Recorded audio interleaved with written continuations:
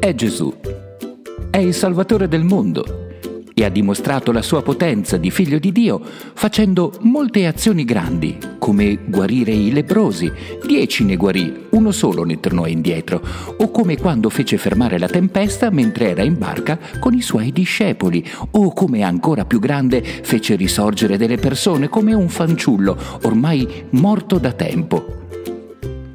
Nei giorni di Pasqua, anche a Gerusalemme, al tempo di Gesù, si festeggiava una grande festa, la liberazione dall'Egitto, attraverso il Mar Rosso guidati da Mosè. Anche Gesù andò a quella festa insieme ai suoi discepoli. Prima di entrare però volle fare una scelta davvero strana. Mentre tutti si aspettavano che il Messia entrasse con potenza e gloria, Gesù chiamò alcuni dei suoi discepoli e gli chiese di andare da un signore fuori città per prendere un somarello e spiegò che se il padrone avesse chiesto qualcosa o detto qualcosa, loro avrebbero semplicemente dovuto dire serve al Signore Signore e lui li avrebbe lasciati andare. E così accadde veramente.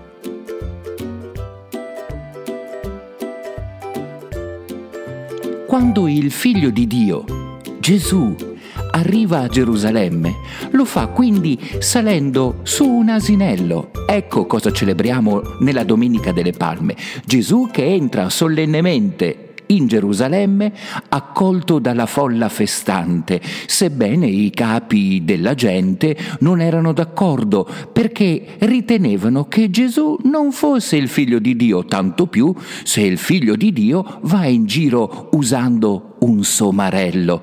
Erano davvero tutti pieni di gioia nel vedere Gesù arrivare. Presero dei rami di ulivo, misero a terra i loro mantelli e gridavano Osanna al figlio di Davide e acclamavano Gesù che entrava a Gerusalemme durante i giorni della festa della Pasqua ebraica, anche se i capi non erano d'accordo. Ma Gesù, il figlio di Dio, chiamato oggi figlio di Davide, entra a Gerusalemme per dare tutta la sua vita agli uomini che sono attorno a lui e verranno dopo di lui, noi compresi.